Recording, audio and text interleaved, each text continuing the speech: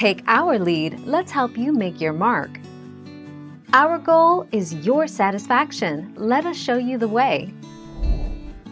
It depends on the baby's gestational age at delivery and may be anywhere from just after birth to a few days or a few weeks. If all checks out with your baby, he may be able to go home right away. But if there are any issues, your baby will have to stay for a, likely very short, while.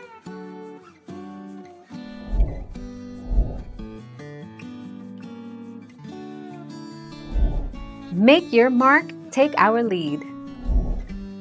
At 35 weeks pregnant, baby is as big as a pineapple. Baby measures about 18.2 inches from head to heel. From here on out, they won't get much longer but will keep plumping up. Your 35-week fetus now weighs about 5.3 pounds, and will put on a pound or more of baby fat before you meet them.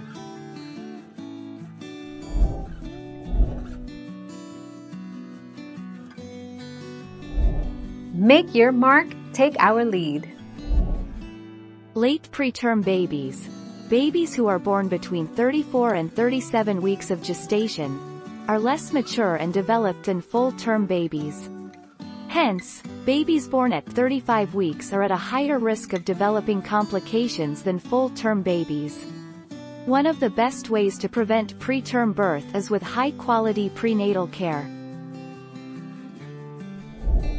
Thank you for watching. Please subscribe and hit the bell notification.